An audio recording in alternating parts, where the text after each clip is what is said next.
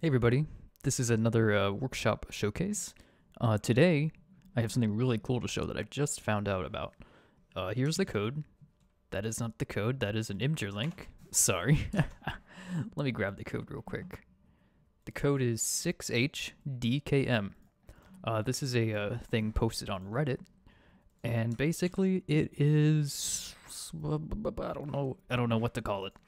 You'll see in a second. Let me change the map to what he had or what he or she had.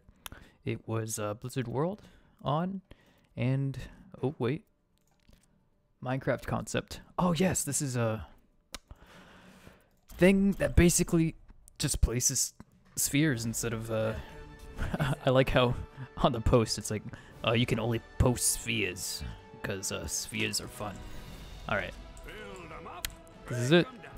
Basically, there is a set grid, and when you click, it places this sphere. Nice. It's not a uh, solid sphere, but it is a proof of concept, which I enjoy. Let's see how many we can make. Let's make a little house.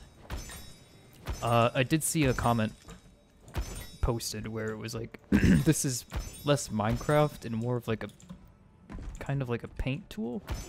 There's the door. Uh, let's close up.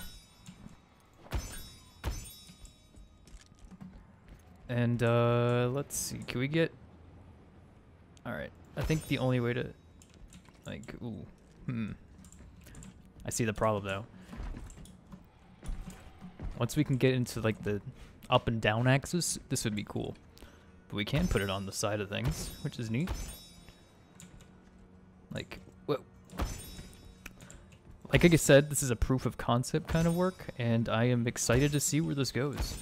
Like, this is cool, honestly. Can I spam it? How fast can I spam it?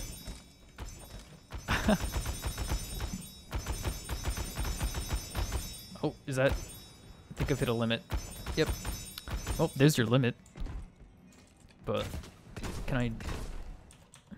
I can't remember. But yeah, this is really cool. I'm hoping that... That's a cool effect too.